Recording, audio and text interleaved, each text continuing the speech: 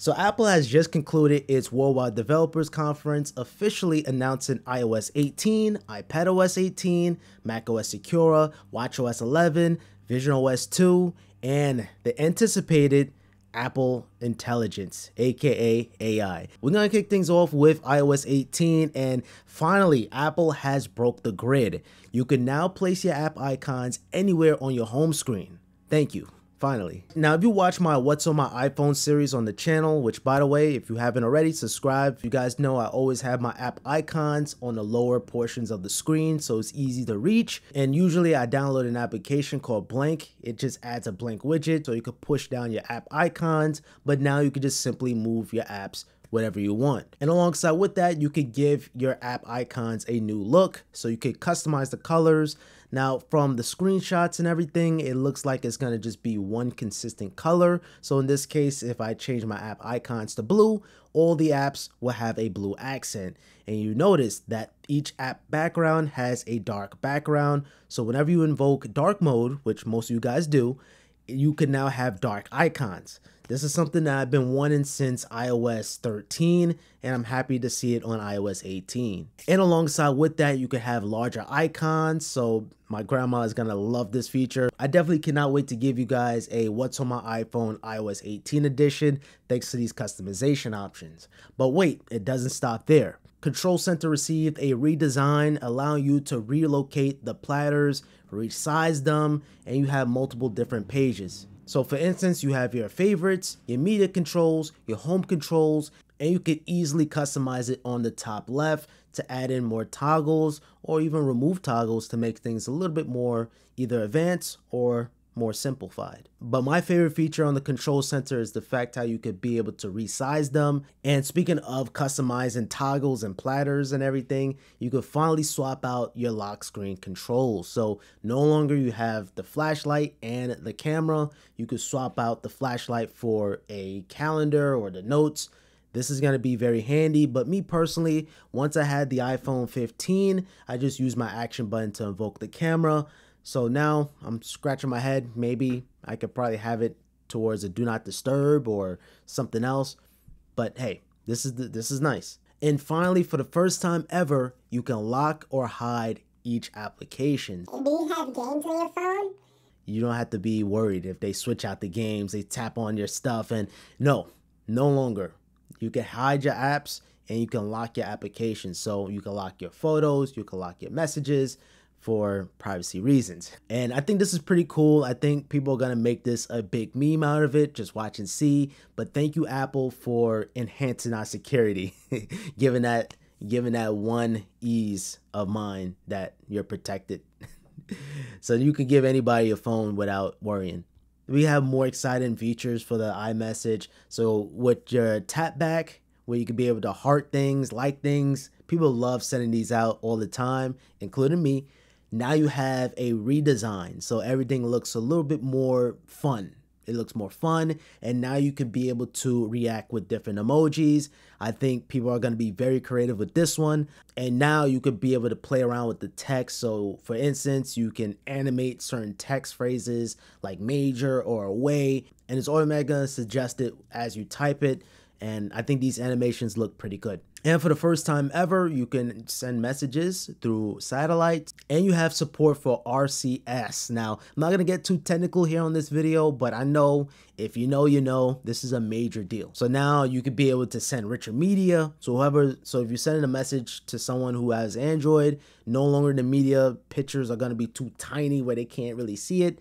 Now you have the full resolution image or video. This is a big deal. And also, alongside with that, you can schedule messages via send later. So let's say somebody's birthday is tomorrow and you don't want to forget it. You can now schedule a text message for that day um, at a certain time and it's going to be able to send that message. Amazing updates to Safari, such as the highlights. So it's going to give you a quick summary to whatever website that you're on. It's going to give you handy information such as the location, the phone number. Next up, you have your passwords app where it's going to showcase all your credentials all within one app.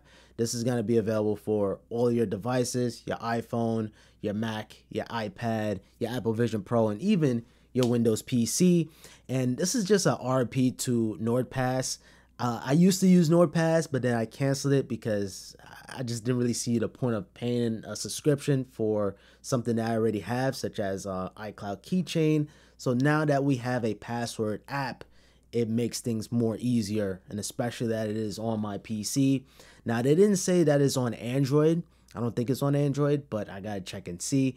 Now, one thing that is interesting with the wallet app, you can now send payments by tapping each other's iPhones. So very similar to NameDrop. To this day, people don't even know what NameDrop is. Uh, we still taking numbers the old fashioned way. Oh, I just hit my mic. It's cool, but they gotta have the right update, and people don't even know what you're doing. It kind of will lose the chances of you getting that number. All right, just kidding. But um, but yeah, it's something that people in the community they need to know that you could do that, and with payments, this is gonna make things a little bit more easier. Apple is just reamping the user experience of iOS, and I love it. And it doesn't even stop there. You have your AirPods, hand-free Siri interaction, so you can nod yes to answer a phone call or no to shake your head to decline a call, which is pretty convenient, especially if your hands are full. This is something that we saw on the Sony earbuds, but it's nice to see it via the software update. Oh, and one thing that I really do like, I'm just looking through my notes here. It's so many things here on iOS 18. Like this video would be three hours long if I were to make every single feature, but this is just giving you guys my uh, opinion on it, my first impressions. And I didn't even get into Apple Intelligence, which is Apple's AI, their version of AI. Um, that is going to be for a whole nother video. I actually want to test that out myself and really see it in action. But it's just a lot of cool things you could do with Apple Intelligence that it took Apple a whole hour to explain everything. But essentially, this is only going to work on the iPhone 15 Pro or iPhone 15 Pro Max. It could summarize, it could write longer text. This is going to be very interesting because there's a lot of subscription services that relies on uh, AI to do certain tasks that Apple Intelligent can do, but all of this stuff is free. So it could be able to create images. So it's just a lot of AI features. I'm not going to get into it right now. I would like to make that a separate video, but it's a lot of incredible things you could do with Apple Intelligence. And the cool thing about this feature is you can highlight an entire paragraph. Let's say you typed up an email, you could be able to highlight that entire paragraph. And with Apple Intelligence, you can change the tone. So give it a more friendly tone, professional tone. I'm gonna love this feature. I'm gonna love it. I'm gonna love it on my Mac. I'm gonna love it on my iPad and my iPhone and all those and all the iOS 18 features that I just mentioned is also available on iPad OS 18 plus a little bit more. Apple Intelligence is also supported on the iPad, but you will need an M-based chip iPad. Anything with the M1 chip or later you are good to go. But now you have the calculator app on an iPad. They even did a little bit more to it too as well. So you could be able to uh, write out math problems and it could be able to solve it for you. But that's just not for the calculator app. This is really just for the notes. And then we have macOS Sequoia. And I know this name was coming because there was a lot of guesses on Twitter. I just love when Apple kind of rolls out the red carpet to Mac OS, And they definitely did it, man. Uh, of course, you have Apple Intelligence, like I just mentioned, but now you have iPhone screen mirroring. So you could use your iPhone on your Mac. And this blew me away. This is probably one of my favorite features on this entire event. Essentially, let's say my phone is in my bag or if it's across the room or whatever, I could be able to interact with my iPhone on my Mac. So I could be able to open up Instagram, open up TikTok. Now, yeah, it might be distracting uh, for some people, but but if you're a content creator like me and you're constantly creating content on TikTok and Instagram, you could be able to, to launch up Instagram and see how your reel is going to look like right there on your Mac. I can't tell you how convenient that's going to be. And it doesn't even stop there. You could be able to click and drag things seamlessly between different devices. So let's say I completed a project or if I want to upload a photo on Instagram, I could literally click and drag it from my Mac to the iPhone while the iPhone is still on your Mac screen. You know, of course, Apple's taking features from Windows. You could be able to have easy click and drag window edging. So if you have a window on each corner, it's gonna resize the windows to um, give you the perfect sizing to resize the next window.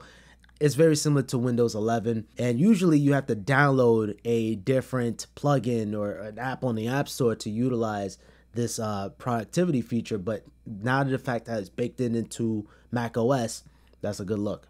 Let's say you're on a conference call on your Mac, you could be able to change the background with an image or your image it's going to be pretty good to have FaceTime calls now. I'm not sure if this is going to be on the iPad or iPhone. I think on the Mac it makes the most sense because that's where you're going to have the most professional setup. And pretty much everything that I just discussed on iOS and iPadOS is here on macOS Sequoia. Now, WatchOS 11 didn't really intrigue me too much, but it is nice to see double tap API. So now developers can take advantage of that double tap feature. We also have the translate, so you can be able to quickly translate things right on your wrist. And of course, you have the you have live activity supported too, and you have smart stack where throughout the time, let's say for instance, if it's gonna start raining in the next 10 minutes, you could be able to see that widget, the weather widget right on top. So it's it's more intelligent than ever before taking what you already know now and just making it even better. Now, in terms of compatibility, the Apple Watch SE second generation is supported. Series 6, Series 7, Series 8, Series 9, Ultra, Ultra 2. No Series 5. And the Series 5 now is 2019, so it is getting it is showing its age, but man, now, Vision OS received a healthy amount of updates so you could create spatial photos from your 2D images.